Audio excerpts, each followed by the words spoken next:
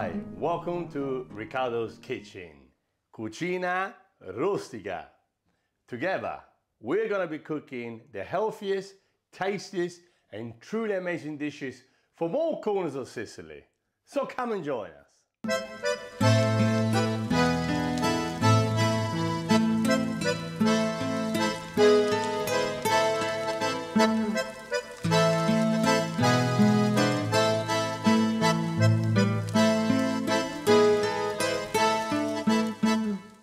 Dish I'm about to make today is a, a famous dish I grew up as a kid in Sicily.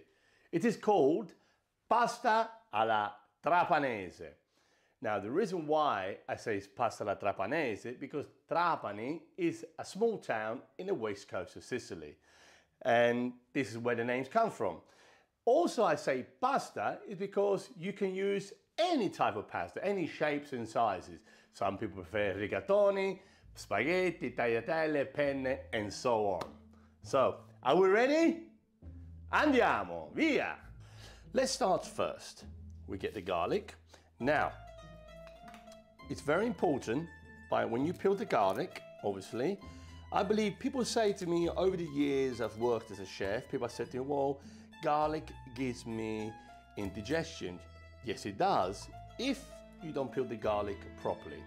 What I mean by that is, see, you cut the garlic in half, okay? And you, you have to remove the root that is in between the garlic.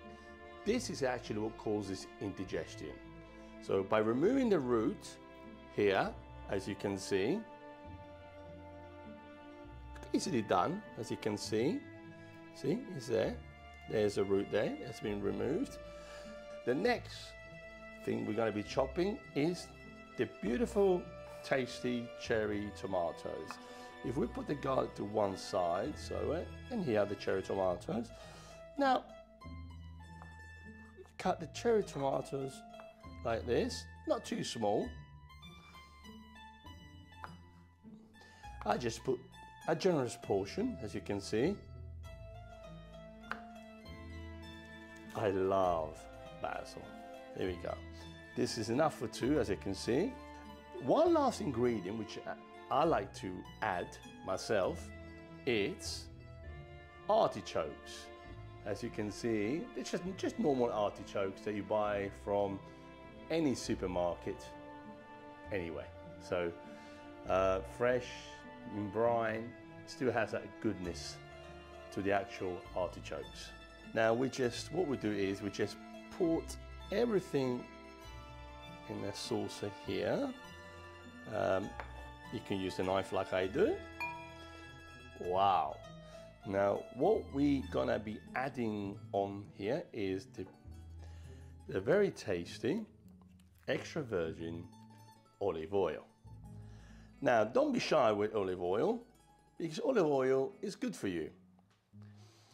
Growing up in Sicily, when my grandmother used to make this dish.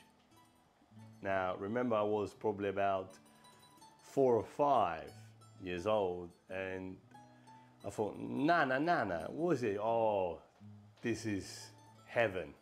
And she was true, it is heaven.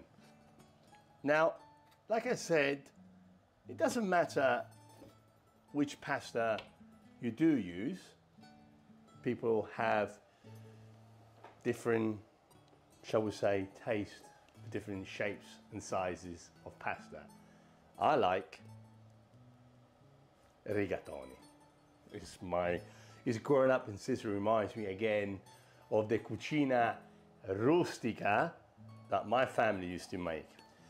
Now, while the pasta is boiling, it's very important to stir, not obviously all the time, every 15 seconds until it actually has reached the softness of the pasta. You know, once the pasta is being stirred three, four times, then it's fine. You can leave it for roughly seven to eight minutes if you want it al dente. Um, not too uh, al dente, but uh, yeah, so it's uh, the best way to cook it. Seven to eight minutes and the pasta should be ready.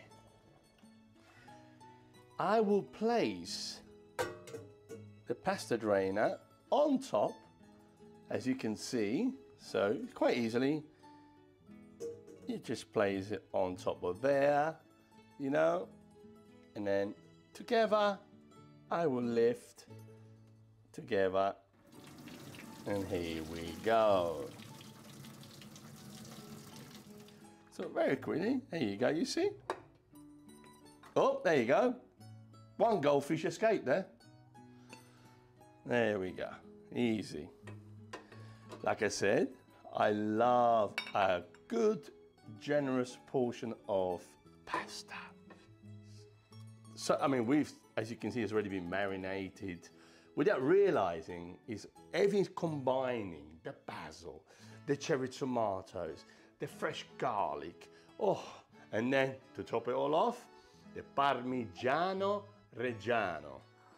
I mean, you cannot get any more cucina rustica than this beautiful dish. Oh, you just place it on the pasta, as you can see. Mm. As you can see, the beautiful garlic and the basil.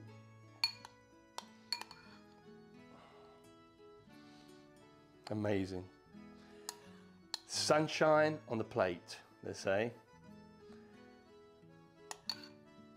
The Mediterranean sun on the plate. We call it the cherry on the cake. Parmigiano Reggiano.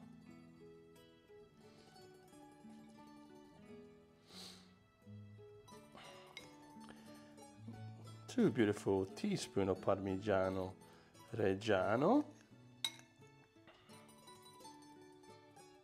And we have the beautiful artichokes, like I said before.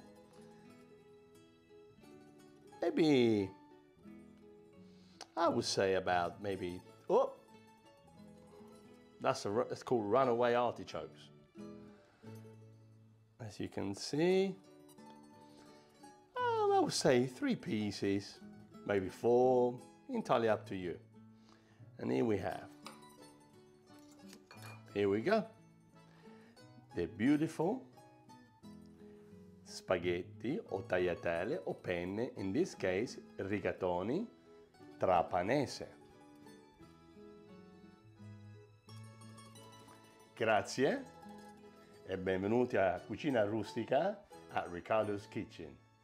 See you next time. Do not forget to follow us on our social media channels. Cucina Rustica, ciao e arrivederci.